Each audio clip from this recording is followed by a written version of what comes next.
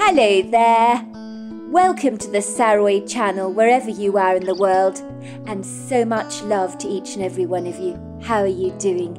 I do hope you're doing remarkably well. I'm doing great, thank you very much. And what an exciting story I'm reading. We're on part four now.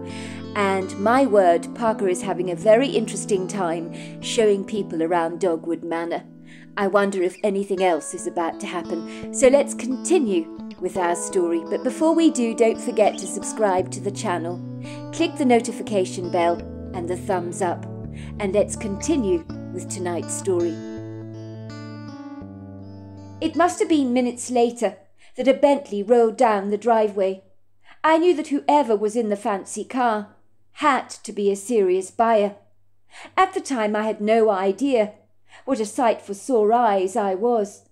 I had ripped the jacket on my suit, as it had got entangled by some thorny barbs during my abrupt run through the woods, and my shiny shoes were now covered in dust.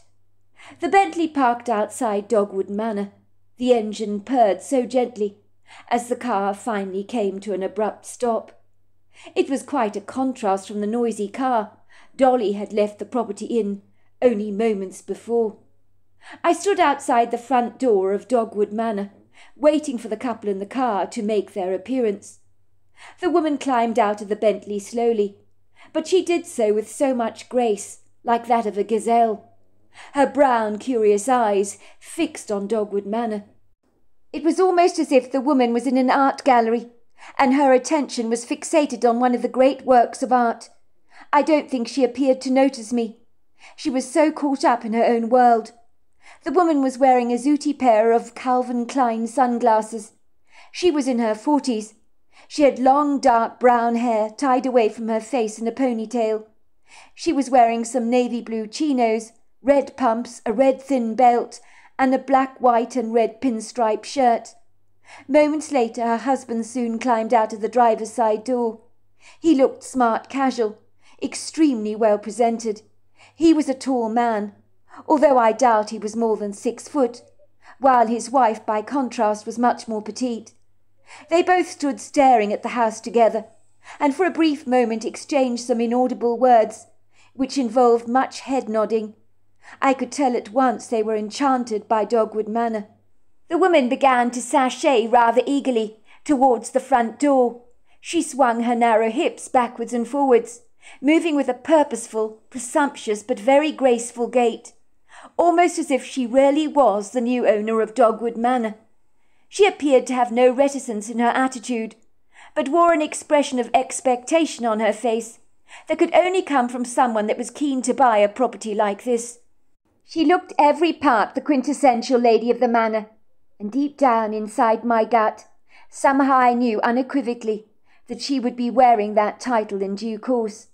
She seemed to fit in this setting like the dogwoods and daffodils belonged to spring. That was when she appeared to notice me for the very first time. Her eyes swiveled around to meet mine, and then her gaze dropped down to study my bedraggled looking suit that had been subjected to an unfortunate run-in with some thorny barbs. That was when I realized what a sorry sight I looked, but it was too late to do anything about it now, to redeem the situation. It would have been a lot better if I'd removed the jacket I'd been wearing. Damn, I thought, when I considered my father's long drawn out lectures about appearances being absolutely everything in real estate. What kind of curb appeal did I bring to this grandiose mansion when I looked as if I'd been having a love affair with a thorn bush?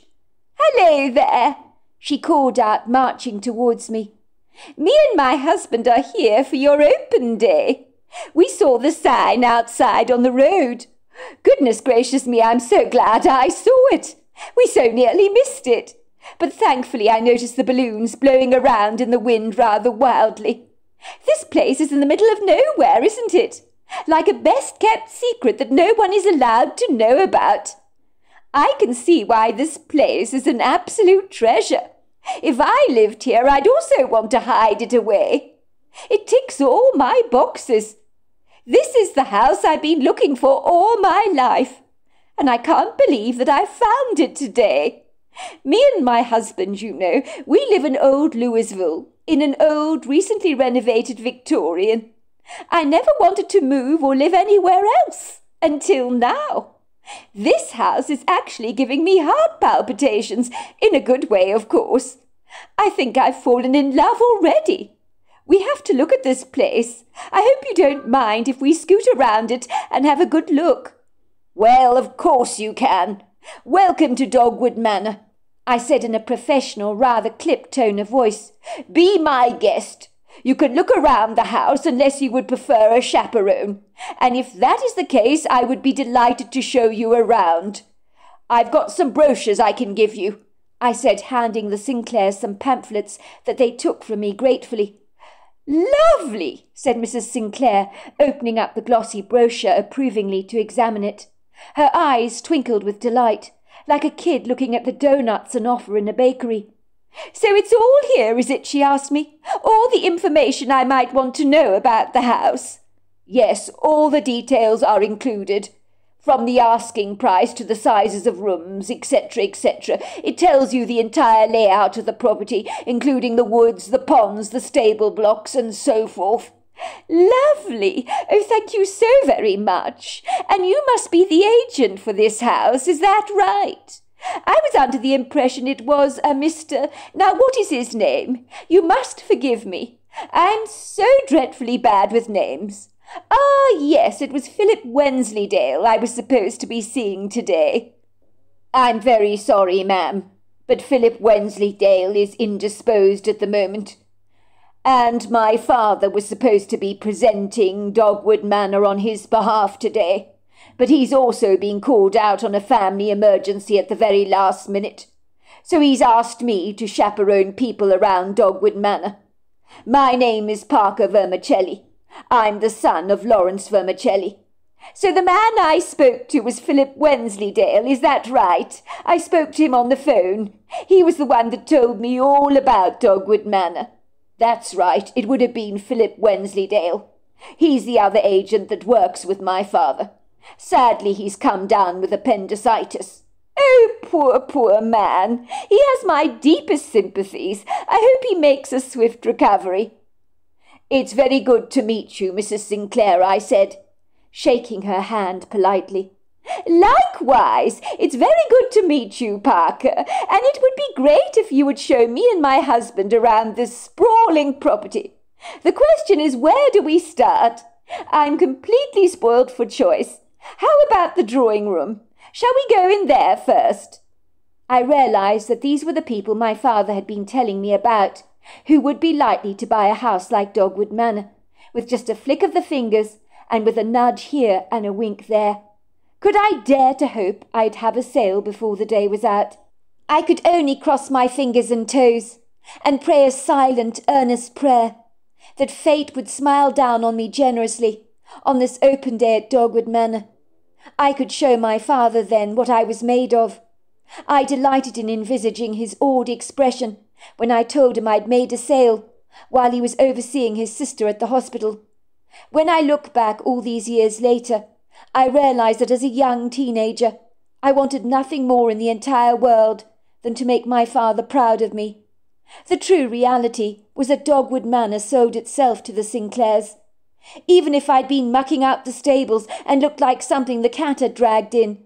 I can honestly say without a shadow of doubt that nothing would have put off Mrs. Sinclair from buying Dogwood Manor. The way that woman was looking at the place, with eyes in attendance to every single detail, and with such an animated expression, as if she was all but a child caught up in a fairy tale. That was the look that she was wearing on her face the entire time. This house is absolutely gorgeous. There are no words. It's gorgeous. I never anticipated this in a million years. It's in marvellous condition. I mean, of course, Mr. Wensleydale told me all about the house. He said I would love it. But I never knew it required so little work. It's a big house, but it's still manageable. And that's incredibly appealing. Mr. Sinclair nodded his head in approval. I knew bringing my wife to Dogwood Manor would be a very, very unfortunate thing to do. I knew she'd want to buy it almost at once. He chuckled. Well, I just love houses of history, don't I? said Mrs. Sinclair. I am passionate, Parker, about old houses. They have so much charm and character, don't they? I can see this place is in first class condition. And you know, just standing here, taking it all in, I'm taken straight back to the 1800s almost at once. I feel completely underdressed in this house, as if I should immediately put on a very glamorous gown.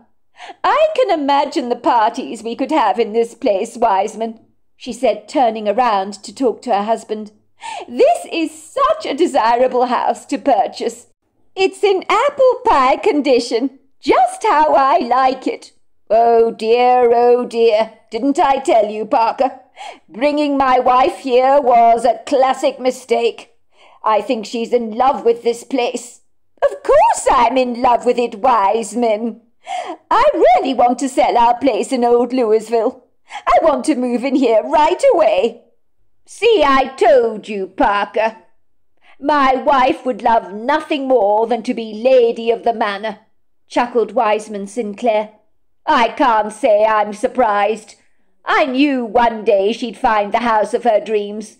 And when we drove up the driveway, and I saw Dogwood Manor, I knew beyond a shadow of a doubt we'd found that house. Does that mean a celebration is in order? I asked. Oh, absolutely, said Mr. Sinclair.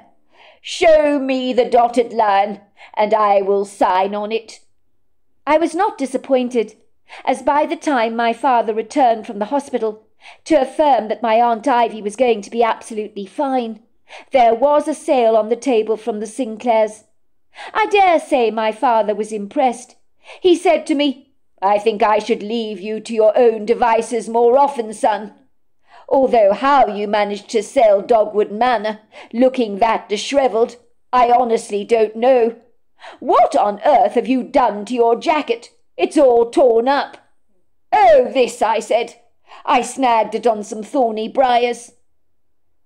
I decided not to tell my father what had really happened and about my rather strange, outlandish encounter with a Bigfoot. How did you manage to do that, son? he asked me. You're selling a house, not going for an intrepid adventure in the woods, are you? I shrugged my shoulders nonchalantly, and luckily my father did not press me for any information in regards to the matter. I think he was simply happy we had a sale on the table, and that the O'Reillys at long last had a cash buyer after their very first open day. It certainly didn't get better than that.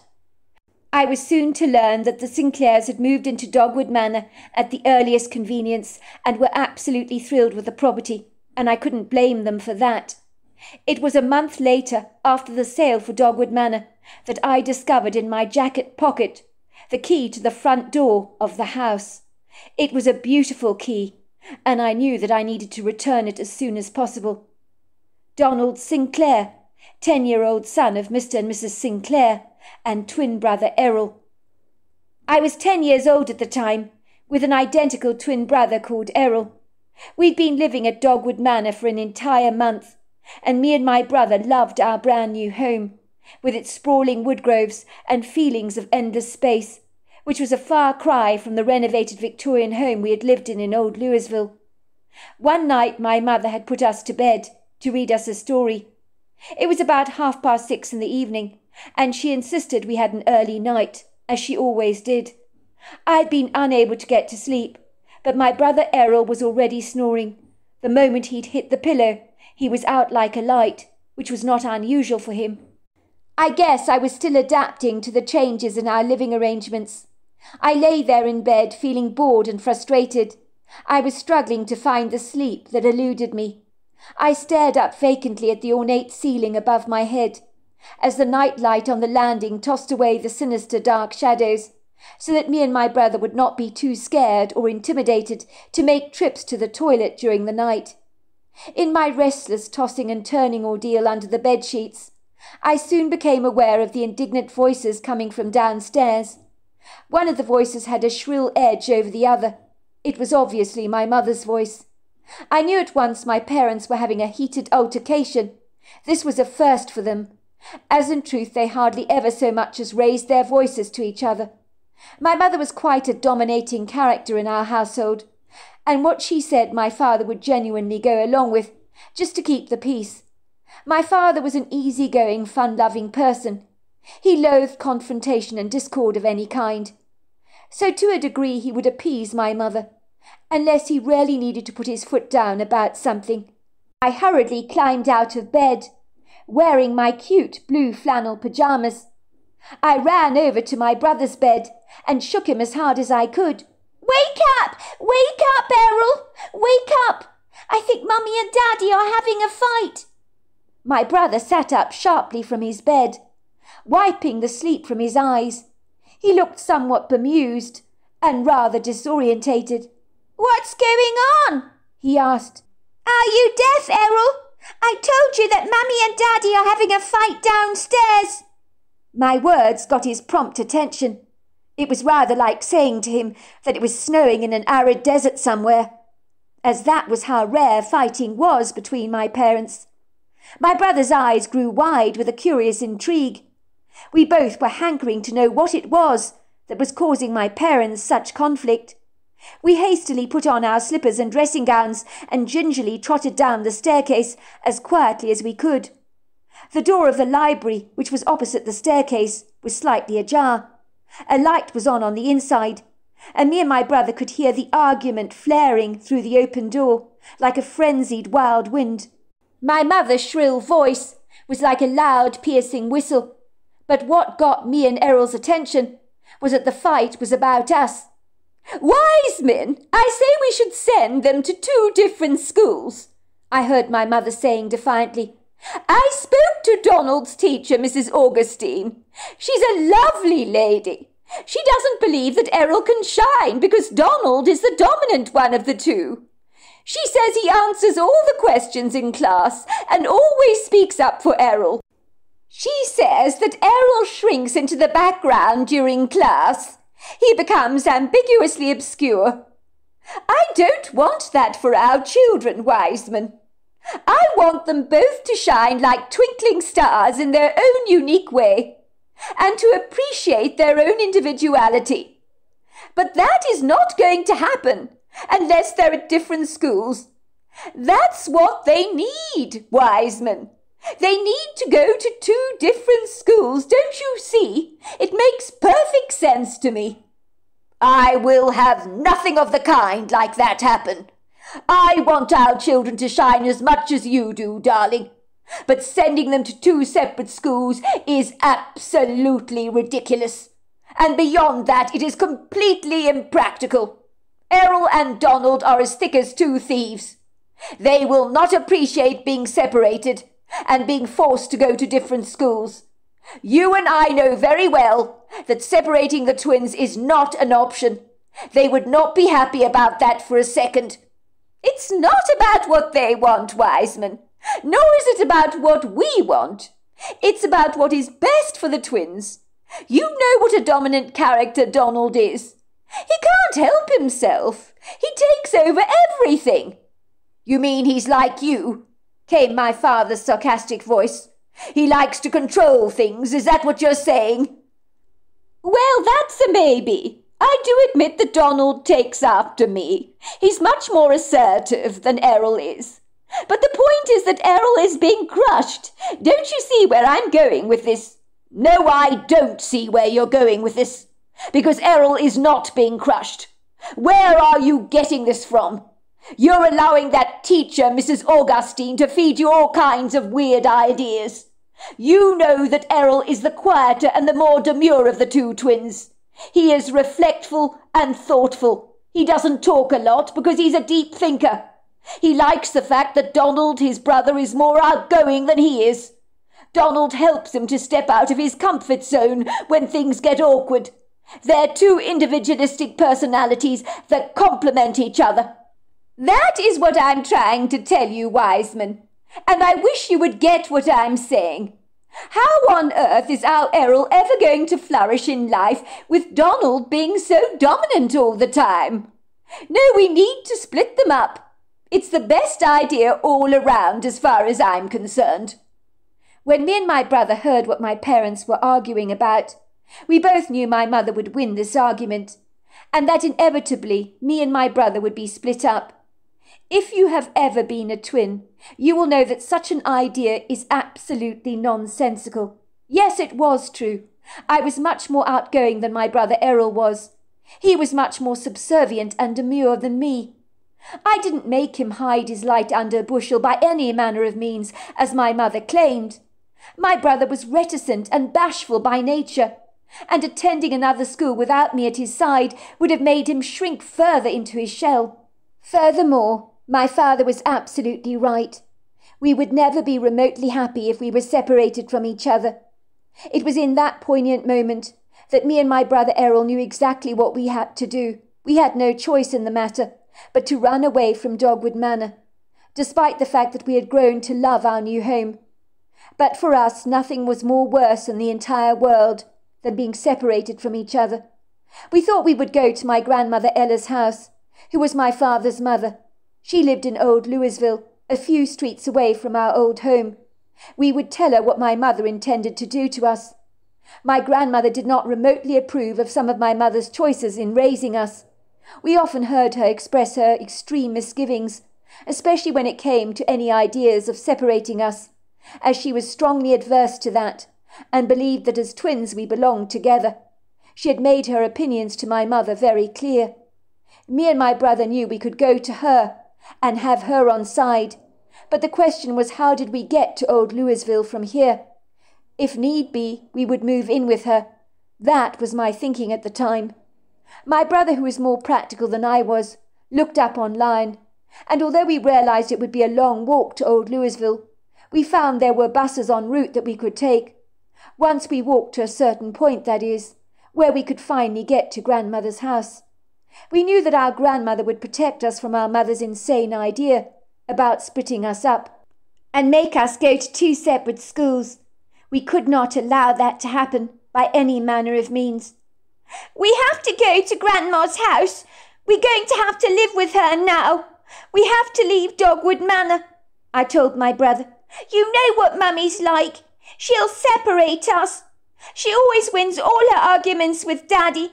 Daddy will let her do what she wants, and we'll be forced to be apart. She'll split us up, I know she will. We have to go to Granny's. It's our only choice. My brother nodded in agreement. We have to go. I can't go to school without you, Donald. And you won't have to, because no one is ever going to split us up, and that's a promise. Cross my heart, hope to die if I tell a lie. Of course, I was very sad to leave Dogwood Manor and the fabulous home that we'd lived in for an entire month. But me and my brother Errol knew very well we had no choice, but we had to leave. So while my parents argued among ourselves, we hurriedly got dressed into jeans and sweaters. We took a couple of flashlights with us for our intrepid journey, some pocket money we'd saved up for our bus rides, and a few snacks from the refrigerator that we might need. We put those in a duffel bag, and we quietly slunk out of the house like two furtive burglars, without my parents being any the wiser. We slipped through a patio door on the wraparound porch where we trailed through the front yard. I do recall their arguing continued as we left. I heard my father say, Let's see what my mother has to say about this. She does not believe in our children being separated. She says our twins belong together. Your mother does not know what's best for our children, Wiseman. I assure you, Mrs. Augustine knows exactly what she's talking about. She's had lots of experience with children over the years. I think being separated will do them both the world of good. At ten years old, walking through the trees in the middle of the night was certainly a daunting prospect for the both of us. We gingerly followed the long winding driveway. It was so tenebrific that I was beginning to feel rather scared, but I was resolutely determined not to show Errol how unhinged I really felt. Maybe we should have slipped out at first light, as walking around in the darkness was not the wisest decision, but it was too late now to backtrack on our decision. We were out of the house now, and going back didn't seem like a great idea. If we were to return to our beds, We would not be able to get a wink of sleep, so we might as well make tracks now and get to my grandmother's house as soon as we possibly could. I certainly didn't want to stay in the grand mansion, knowing what my mother was planning for the both of us. The thought made me sick to my stomach. I was already feeling wretchedly nauseous. I wanted to throw up the contents of my stomach, but I fought against those physical urges. Me and Errol were feeling incredibly aggrieved over my parents' conversation, and that drove us further forward. As being ten year old kids, we both very well knew that we would have no say in regards to the matter. I'm really scared, said my brother Errol. I think we should go back, but I don't want to go back. But I want to go back because I don't like it. It's so dark out here. I can't see anything. Do you want Mummy to separate us? I asked my brother. Do you want to go to school without me? Because if we stay at Dogwood Manor, that's what's going to happen. Mum will win her argument. She always does, and we'll be split up. Do you want that, Errol?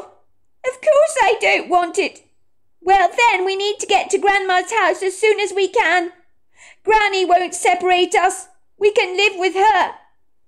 But can't we leave first thing in the morning when it gets light? My brother asked me. We don't want Mum and Dad to see us, do we? We can use the darkness to get ahead. They will be asleep in bed. We have a head start. And if we go back, we won't even be able to sleep anyway because we'll be worrying about going away, about running away. And what if our parents see us do that? We can't let that happen. If we go now, they won't have any idea what we're up to. But it's so dark, and I'm so scared. It was as we scrambled through the tall, lofty trees of the wood grove to take a quick shortcut through the woods to get to a main road that strange things began to happen, things we couldn't explain. We were guided by the light of our torch and suddenly realized that something or someone was following us. But who? We walked down the path with our hearts thundering in our chests. We heard twigs breaking and snapping. It scared us half to death because we weren't making that sound.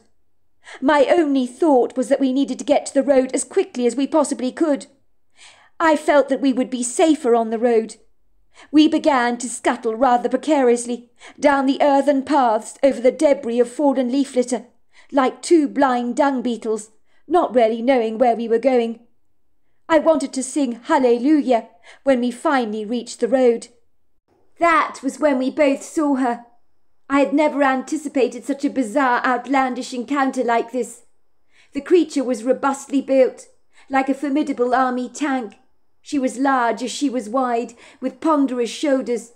She had a distinctive bullet shaped head, and a face that was startlingly human. I knew I was seeing a Bigfoot.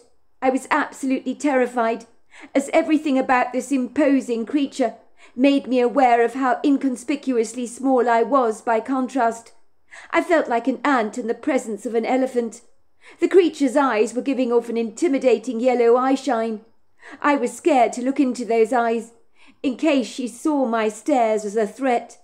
I had heard bad stories about Bigfoot encounters before, and this creature seemed to be very interested in us, and her curiosity over us scared me half to death. What did she want with us, I wondered? I kept hearing in my head, Where are you going? You mustn't go away. It's not safe. I didn't know where the strange voice was coming from, but it was not my own. But I knew that me and my brother needed to get away from this creature, but I didn't fancy our chances of escaping her. She was so powerful, she looked like she could easily outrun a seasoned athlete.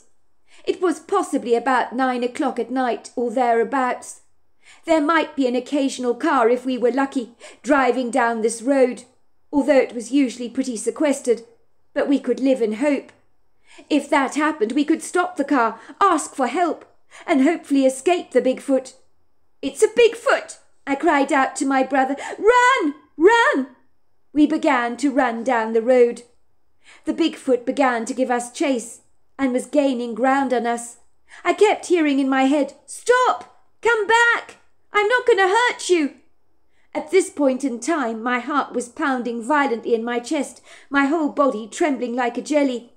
I heard a voice screaming in my head again, Please stop! All of a sudden, I saw a car driving down the road. It was like a gift from God. The Bigfoot turned around and ran towards some trees, where she took cover behind one of them and watched us. I began to wave madly. I was so afraid the Bigfoot might hurt us and come after us because she was so big. The car was our hope of certain escape. The car looked like a four wheel drive vehicle.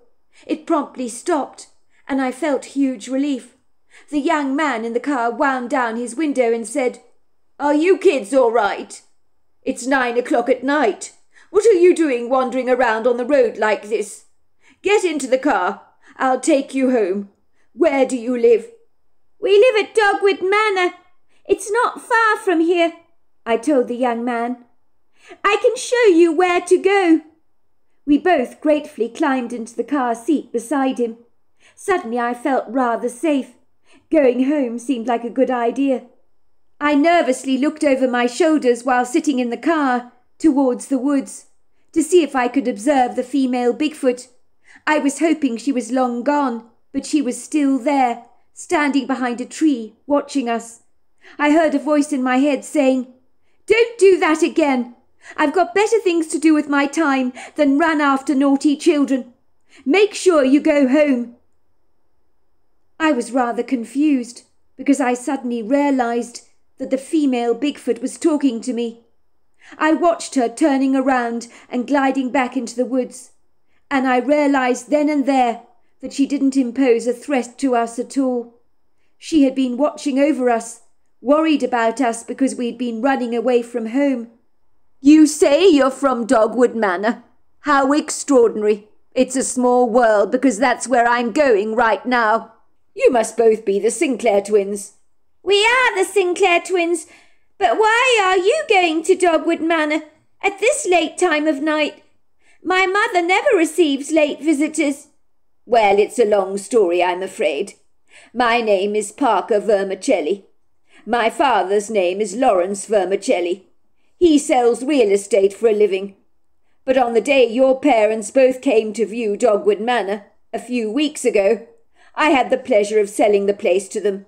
My father was otherwise indisposed at the time. The other day, when I sent my suit off to be repaired, I discovered that I still had the front door key to Dogwood Manor in my pocket. And it's no ordinary key. It has been beautifully handcrafted. They don't make keys like this any more, so I knew I needed to return it to your parents forthwith. I phoned your mother this afternoon and told her I'd be passing this way a little later in the evening. And did she mind if I dropped off the key then? She said it would be absolutely fine. And then, by lucky chance, I run into the both of you. Are you going to tell me what you're doing on the road in the middle of the night? Are you running away from home? We are running away from home.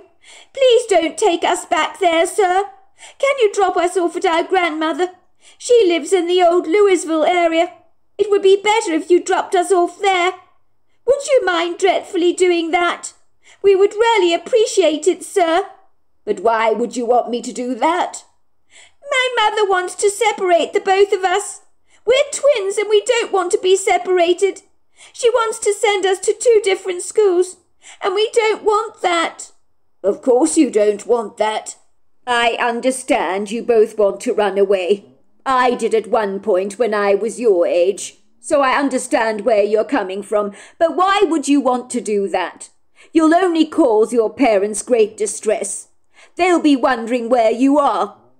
My mother wants to separate us. We're twins. She wants to send us to different schools. We don't want that, sir. Of course you don't want that. I tell you what, I'll talk to your mother for you. My father was a twin. His parents tried to separate the both of them, and it was a catastrophic mistake. How about I take you back to Dogwood Manor? and I'll speak to your mother for you about this matter. But how do you know she'll listen to you, sir? She always wins her arguments with my father. She always gets her way in absolutely everything. I will speak to her, because I know exactly what happens when you split up twins. It's not a good idea. I promise I'll speak to your mother. I'll do my best to persuade her to keep you two together. I do not remember all the details of that night when Mr. Vermicelli dropped us off at home. My mother was mortified that me and my brother had tried to run away. When she learnt that Mr. Vermicelli had seen us on the road and had waved him down because we were so afraid, we even told her about the Bigfoot that had followed us when we left the property, but my mother didn't believe a word of it. For goodness sake, don't be so ridiculous. There is no such thing as Bigfoot. Your imagination is playing tricks on you. But you brought this on yourself, wandering around in the dark in the middle of the night like that. What on earth were you thinking?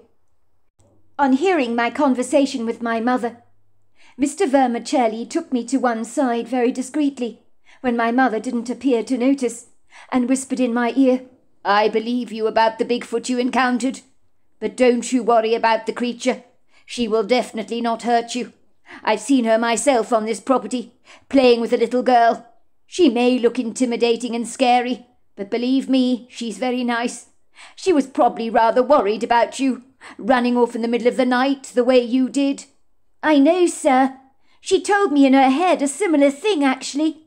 There you go, then, said Mr. Vermicelli, looking pleased. My mother, on the other hand, was not remotely pleased with me, or with our insubordinate behaviour, while my father was wearing a rather smug I told you so look on his face. I don't understand why the two of you would run off like that, Donald, my mother cried out indignantly, focusing the blame entirely on me, like she always did. She believed I led my brother Errol astray with my wild, fanciful ideas.